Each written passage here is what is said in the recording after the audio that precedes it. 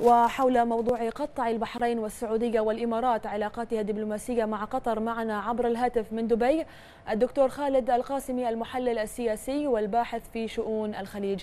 دكتور خالد ما هي الأبعاد السلبية والتداعيات للتقارب القطري الإيراني على دول المنطقة سيما وأن إيران تسعى لزعزعة الأمن والاستقرار ودعم الإرهاب؟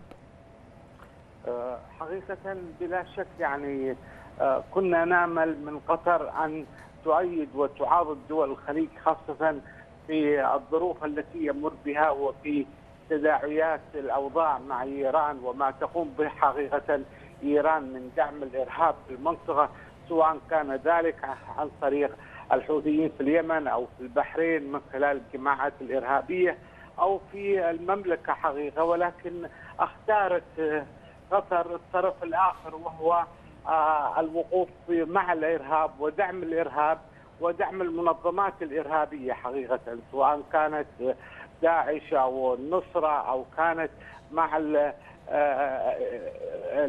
ما يؤيد الوضع في منطقة الخليج حقيقة.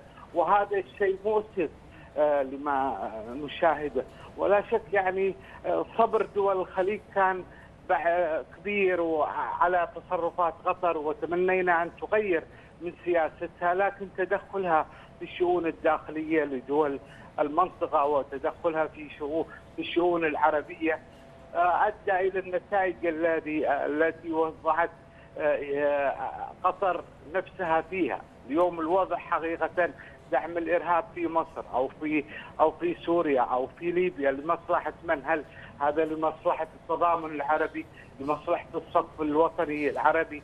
بالتأكيد لا، فلذلك نحن عانينا حقيقة من قطر وكثير من الوساطات اليوم من 2004 منذ سحب السفراء ولم للأسف الحكومة القطرية لم تبدي نوع من التضامن مع المنطقة ولم توفي نعم. بوعودها التي وعدت بها بل نلاحظ يعني حتى أدواتها الإعلامية تهاجم الإمارات والسعودية والبحرين وهذا ليس في صالح المنطقة يعني. نعم دكتور خالد رغم مشاركة قطر في القمة التاريخية الأمريكية الخليجية والخروج بتأكيد على دور الإرهاب الإيراني في المنطقة ما هو برأيك سبب إصرار قطر على الحفاظ على علاقات علاقات قوية مع إيران؟ للأسف الشديد قطر تأخذ تعليماتها من إيران كما أعتقد وللأسف هي دولة صغيرة نحن لا نرى يعني في الصغر أو في الحجم مشكلة. لو كانت يعني مع التضامن العربي، اليوم القمة السعودية الأمريكية كانت حقيقة امم ناجحة. ولا شك أن دعوة 53 قائد من القيادات العربية والإسلامية لحضور هذه القمة وتوضيح الدور الأساسي للإسلام والإسلام الوسطي وإبعاده. عن التشدد الأمريكي الذي كان يراه في الإسلام عنصر يعني ضد الأمة الأمريكية. فهذا الشيء مكسب لنا ومكسب للعرب وللأسف يعني لم يروغ ذلك يعني للقيادة القطرية. وأيضا يعني مكافحة الإرهاب كانت هذه القمه واضحة في افتتاح مركز لمكافحة الإرهاب وفي أيضا توقيع اتفاقيات.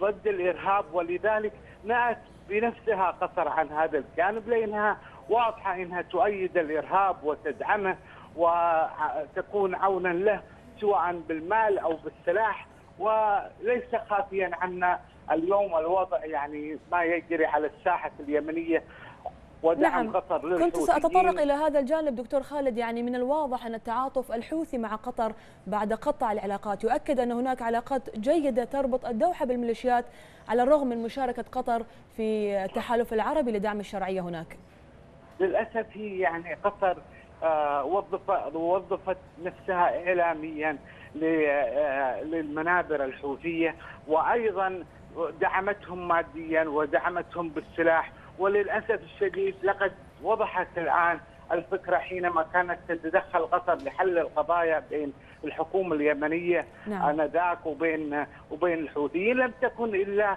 لتوصيل الدعم حقيقة للحوثيين، أيضا يعني آه الأحداث التي نمر بها والأسلحة التي تصل للحوثيين، كل التقارير تشير إلى دعمها للأسف للحوثيين ودعمها أيضا للجماعات الإرهابية كذلك في اليمن اليوم ما ما تم حقيقة يعني ما قامت به آه، الطائرات الأمريكية بدون طيار في مناطق كالبيضاء وغيرها.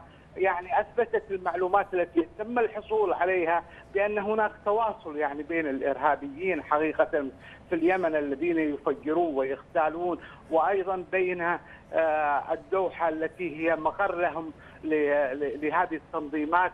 وتعطيهم التعليمات. فنحن نعم. لم نكن نأمل آه، أن تكون آه، قطر كذلك. كنا نأمل أن تكون عون لدول التحالف في إعادة حقيقة آه، الشرعية لليمن وفي إعادة الوضع لليمن. فكارثة أن تكون دولة من دول التحالف تساهم في نشر الفوضى وفي نشر الإرهاب حقيقة في منطقة تهمنا جدا. ونرتبط بها حدوديا وجغرافيا. نعم الدكتور خالد القاسمي المحلل السياسي والباحث في شؤون الخليج شكرا لك.